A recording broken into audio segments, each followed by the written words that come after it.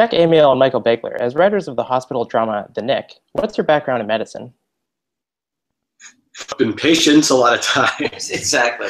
We, we really don't have any uh, uh, background. Um, we have, I mean, we, n- neither of us went to school for it. It's just more of a of a fascination than anything. Yeah, I think um, for us, I think for us it was it was coming at it as lay people originally with no preconceived notions of what medicine was supposed to be and, and, and what a medical professional was supposed to be and not knowing the history of medicine coming in and being able to to discover it with fresh eyes i think where that actually helps us bring it to the audience as sort of presenters of this era this time this medicine and these attitudes.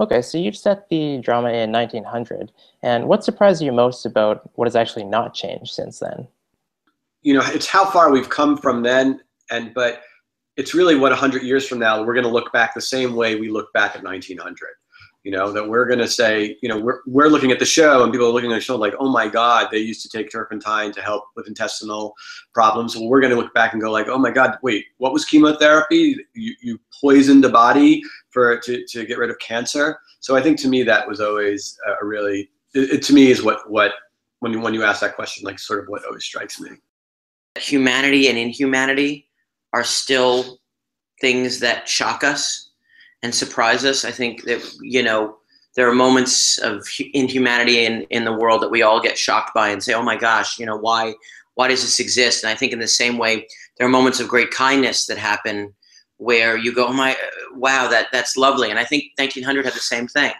And maybe the inhumanity was a little more brutal and there was a little less political correctness. But to me, that is part of what what is universal about this, but also because the show is so much about privilege and about um, the presumption of, of, of how entitled you are, or the, the assumption of that a group being less entitled, um, you look and you realize not that much has changed in terms of the entitled classes.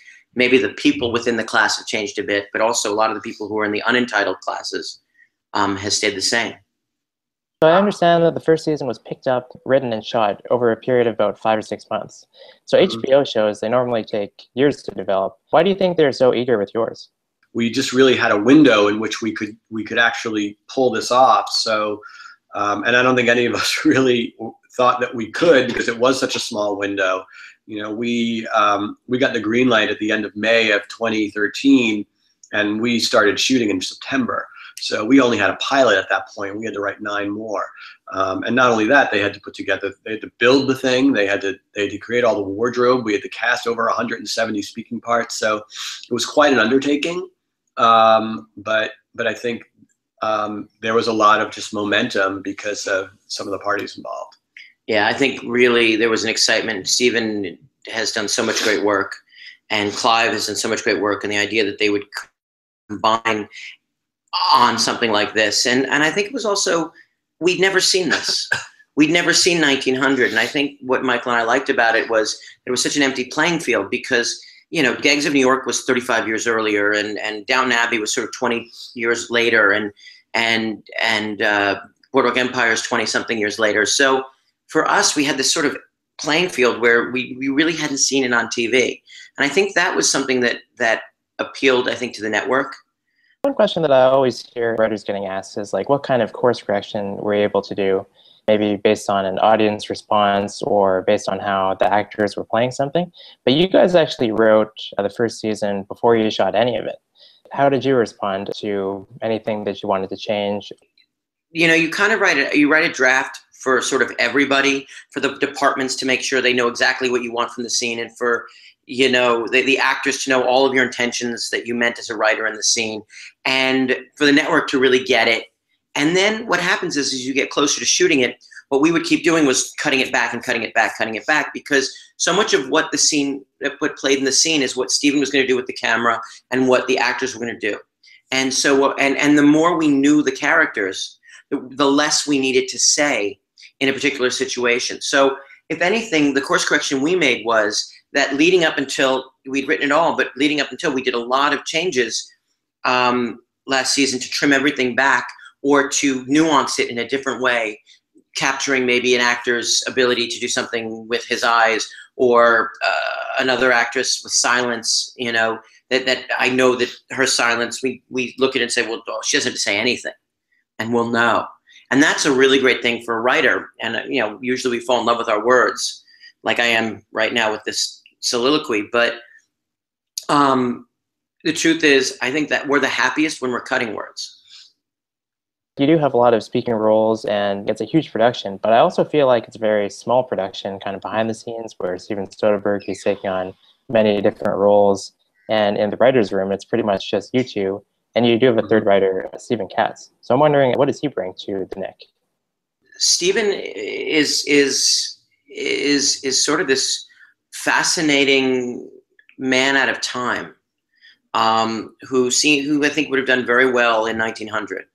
Um, and he really does know about anything debauched mm-hmm. in 1900, wouldn't you say? Yeah, I think he brought a lot of little little bits of flavor that um, to to things like, for example, um, you know, the, how how um, Ping Wu mentions this thing called the golden lotus, and how it's about you know, and, and about putting the foot in the mouth of, uh, while while having sex that's that's purely a Steven Katz thing. I mean that that's like that's like right in his sweet spot. He, those little things were always so um, were, were, such these golden nuggets that he could sort of pop and bring in at any point. And he wrote two of the episodes.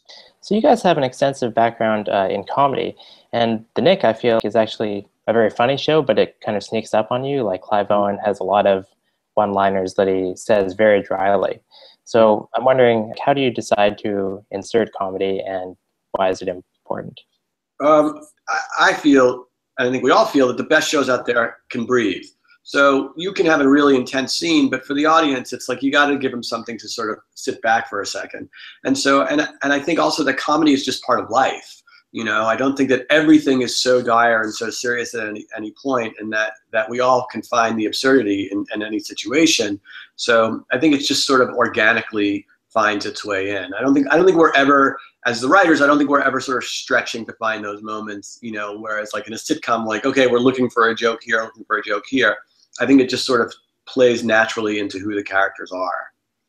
Yeah, there are so many wonderful ironies of the of the era and, and, and how people think and and that for us has been really great because you can you can play absurdities. And i think it also breaks down the wall between the uh, between the the show and the audience when you realize that people in such a dark time were still funny.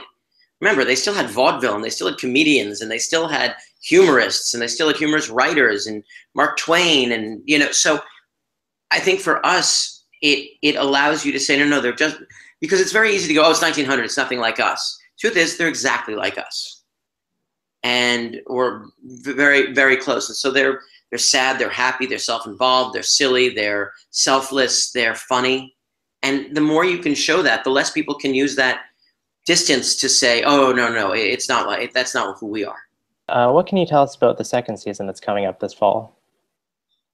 Um, you know, a lot of it took place in the hospital first season, we're really out in the city this year. We really sort of, the city becomes more of a character in a sense um, in second season uh, in a good way. And and of course, you know, we we we set the bar high for ourselves last year in terms of like the types of surgeries we did, and we had to up the ante this year. And so, but I think I, I feel confident in saying that I think uh, we've got some we've got some pretty good surgeries coming up.